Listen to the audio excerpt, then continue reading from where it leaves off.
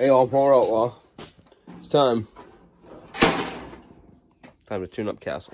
All right, well, the first thing I'm going to do to do this tune up is I'm going to take the hood off.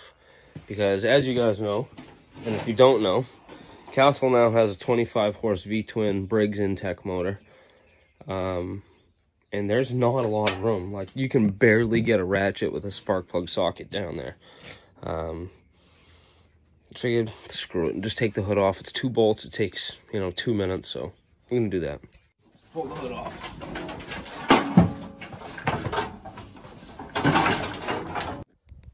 I have so much more access without the hood on it. Just opens everything up. Super easy to take off. Hey, little outlaw, you in here to help? Guess not. Alright, so what I'm about to do is change the air filter, change the spark plugs, oil filter, obviously the oil. Um, and I'm gonna do new fuel line, new fuel filter, new shut-off valve, everything. And here's what I'm using, uh, Briggs fuel line. You don't have to use all name brand stuff, but it was at the store, and the prices were actually decent, so I went with them. Um, Briggs oil, Briggs fuel lines, just some extra fuel line. I got a local parts store.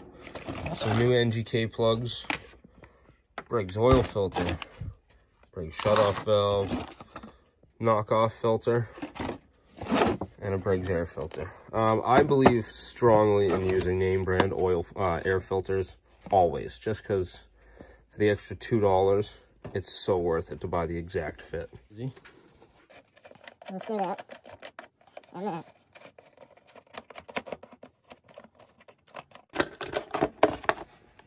Boom. As you can see, this one's beat, mangled, and messed up. Looks like somebody jammed something down through there. Alright, so let's get the spark plug. Pull this boot. Pull this boot. And get this one while we're right here.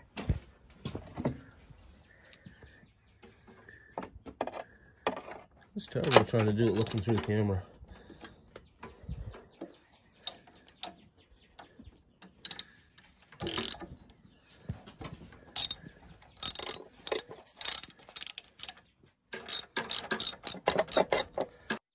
It's not terrible, not the best, but not terrible.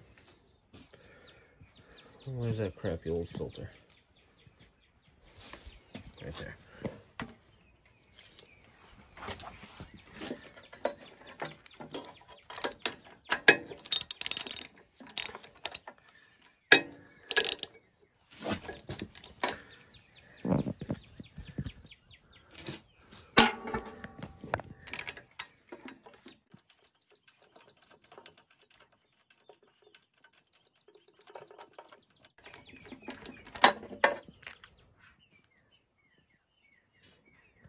Not uh, terrible either, but still gonna change them.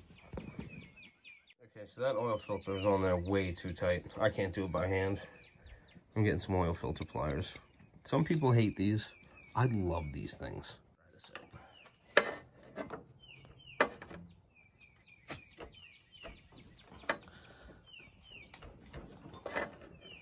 Man, that thing is on there.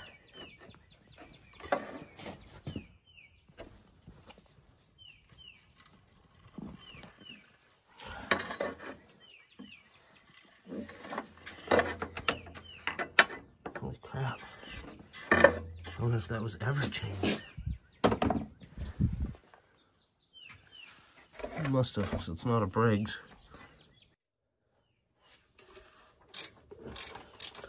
Time to pull this drain plug. Like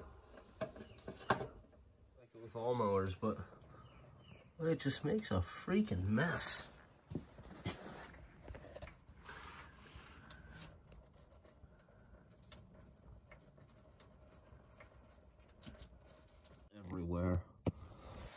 I'm not a fan of how much oil goes. These stupid pressure lube motors. Can't really say stupid, but just this point right now, I'm a little frustrated with. It's a mess. Um, some nice NGKs. That was what my the plugs that were in this cross to. Uh, BKR6E-11 2756.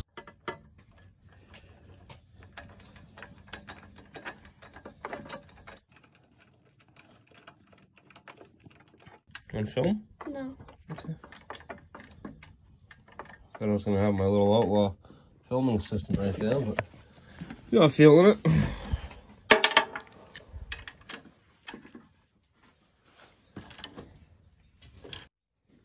Now, I'm gonna head over here. Ooh, yeah, we'll take that. Set down there, over there. Have the new filter. Oil. Oil filter's on. Now I'll put the drain plug in. Alright, so we're putting the new air filter in. Little outlaw's gonna do it for me, right? Nice. Alright, tear that thing out of there, buddy.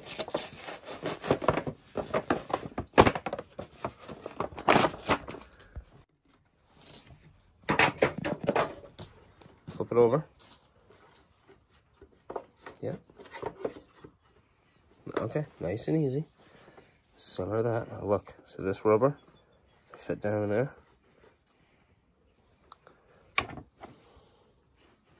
Hold on.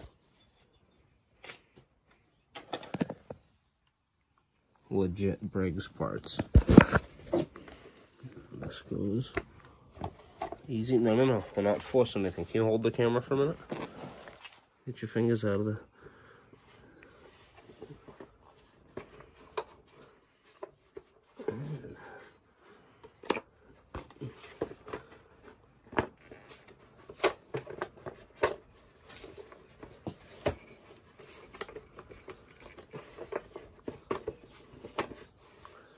That's funny, you don't want to line up.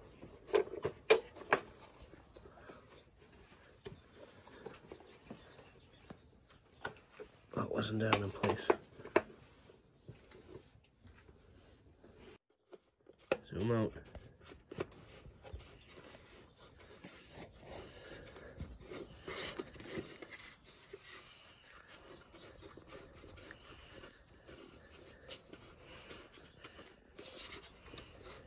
And that was a pain to get in there. That's in. Air cleaner's on, oil filter's on, drain plugs in, spark plugs are in. Time to put in this oil.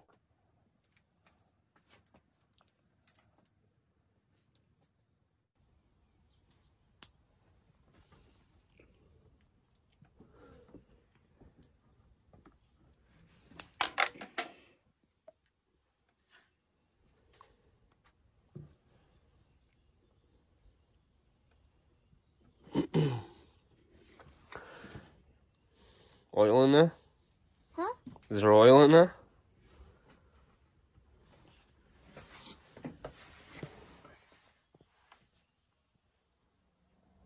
I can't. I can't see it.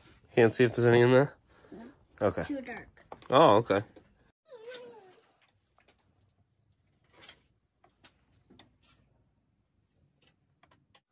It looks like a lot, but that's a super small funnel.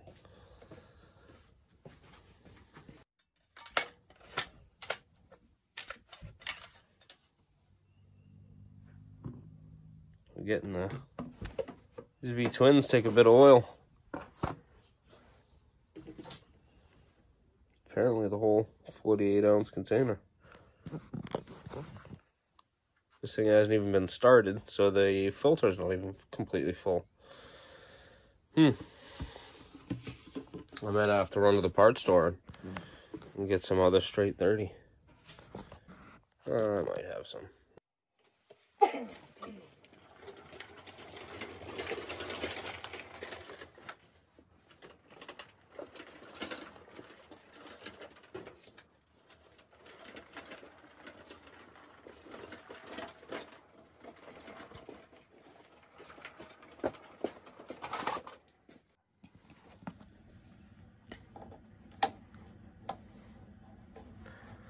Now when I take this off, I'm going to change all this fuel line, the shut off, the fuel filter. Um, I'm going to keep all these clamps because they still work, but I got new ones. Um, I might keep maybe one piece of this fuel line as a just in case, depending on how much I have extra. But it's always good to have fuel line. Never know when or if you're gonna need it or if a buddy's gonna need it. Alright, so I disconnected it and pulled it all out of here. Put it down that. And it's draining. To build the fuel line, obviously just as it is, instead of being sitting on the ground over there, sitting on a milk crate, run it over here. I'm just gonna rebuild it here. Um, Briggs and fuel line, Briggs and Stratton shut off, and a knockoff fuel filter. Um, bunch of clamps here. Might have to reuse a clamp, maybe, maybe two. I don't know yet. There's two there, two on that length, and I'll need two on this length. So I'll have to reuse two of them.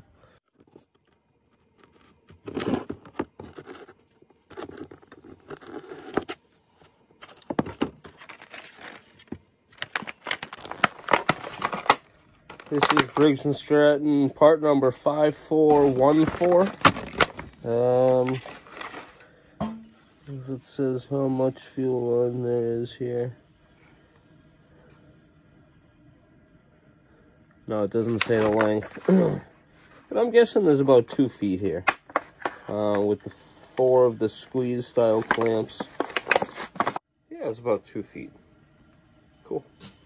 So, start matching up this. Oh, looks like this is gonna be enough, and I'm not gonna need a need to get into that other bit that I bought. I got from the parts store, which is great because now instead of holding and saving some fuel line, some of the old stuff like I mentioned before, I'll throw the old stuff away. And since I've already paid for that, and it really wasn't that expensive, I'll uh, I'll just put that whole chunk right in the fuel in the toolbox along with this. There's a little outlaw coming in and say hi. Um, and all the other spare clamps that I take off the old one and the spare shut off. And uh, I'll just put it in the toolbox just to have just in case. All right, so what I did is I connected it up under the fuel tank. I didn't try to show you because it's dark and it's a pain in the ass. Um, so I'm gonna run it as it's supposed to be flow arrow this way. And I'm going to put it right in this little holder. And it's going to go up onto the fuel pump.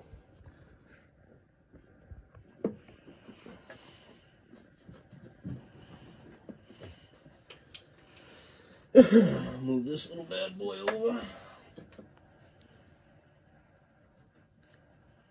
That's in place, that's in place. Turn the valve on. And uh, that'll be that. Um, by the way, a few minutes ago, I was uh, FaceTiming with a friend of mine in England.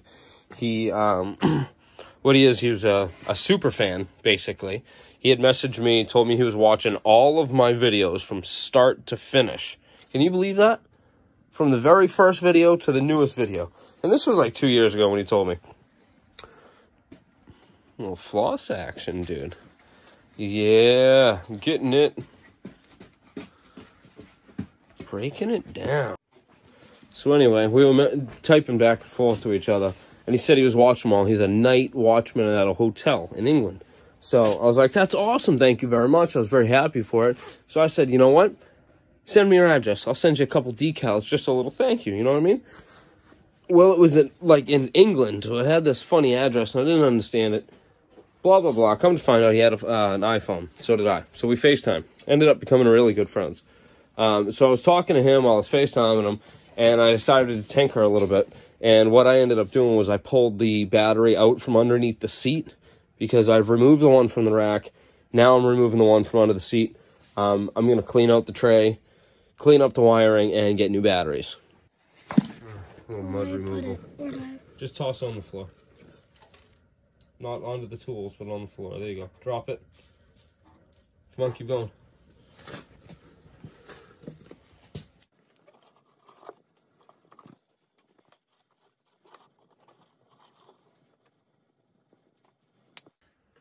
He doesn't realize I'm going to make him clean the pile up off the floor after.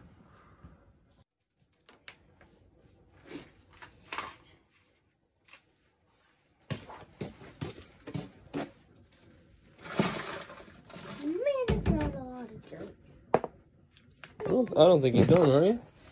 Hey, there's still more over there. Yeah.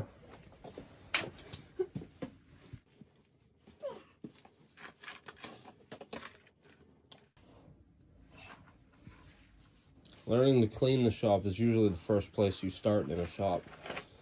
It's not a bad thing. You're a good boy. Um, put enough gas in just to make sure all the connections are all tight. They should be fine. It shouldn't leak, but just in case.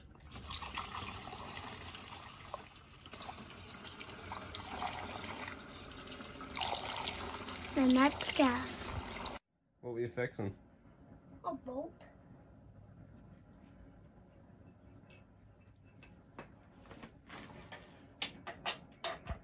None of those are size. Not the right size? You know, there's a video of you years ago on this channel Yep. where you was saying it was the right size. It was the right size. Let me find what that is. Ow. At least this time you've got both your shoes on. Yep. Well, they're not really shoes. They're boots. I got a bolt that fits it. I got the right size. Daddy, come here. Funny guy. Well, there it is, y'all. Um, you seen it. Uh, no fuel leaks. Fuel filter filled up. Everything's fine. Um, I did just do a quick little connection here on the charging wire. Um, just to go back, you know, into the solenoid to recharge the batteries. Um, I gotta go to the store, grab a battery for there and a battery for back. Love my double batteries. Um, that's it, man. Uh, then obviously I gotta throw the hood back on, but I'll spare you that crap. Um, anyway, tell me what you think. Tell me what you thought. Any questions? Let me know. And if you're still watching, um, put down in the comments what part I used that wasn't factory. Just put down in the comments. I just want to see how many people actually watch to the end. That's all. Um, all right. Well, there it is. Tune up on Castle. Thanks for watching. Stay tuned. Uh, hit that thumbs up button. Leave some comments. If you want to hit the thumbs down, that's fine. Just tell me why. Um, tell your friends. And if you're not subscribed, make sure you subscribe. And if you're subscribed, make sure you hit that bell, get them notifications. All right. We'll see you later. Um, hopefully, we got a ride coming up soon, but it's quarantine and stuff, so who knows. But I need to get out and ride, so you'll you'll see it when I do it.